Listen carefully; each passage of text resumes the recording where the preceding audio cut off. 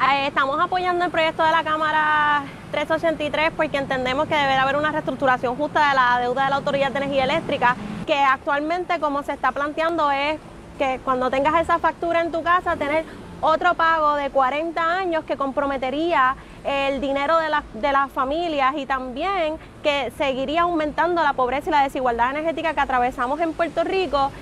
y que impediría poder tener un futuro sostenible con justicia energética para los más vulnerables en Puerto Rico. Estamos haciendo un llamado a todos los jóvenes, las jóvenes y a toda la ciudadanía a tomar cuatro acciones, ¿verdad? Que las personas hagan fotopeticiones diciendo por qué apoyar, por qué apoyan el, P, el PC 383 de la Cámara que se convierte en ley y llegando a la manifestación del próximo miércoles 20 de julio y también haciendo campañas de llamado a llamar a la fortaleza y exigirle al gobernador que convierta en ley el PC 383, una campaña de cartas para que llegue al gobernador en favor de este proyecto. Así que estos son cuatro acciones que se pueden hacer desde la casa y una de ellas tirándose a la calle y también siempre insistimos por favor en socializar y hacer este discurso un poco más simple y hablar con toda la gente que te rodea en el trabajo, en la familia, en el jangueo, siempre poder hablar sobre qué está pasando y cómo podemos tomar acción sobre el futuro que queremos.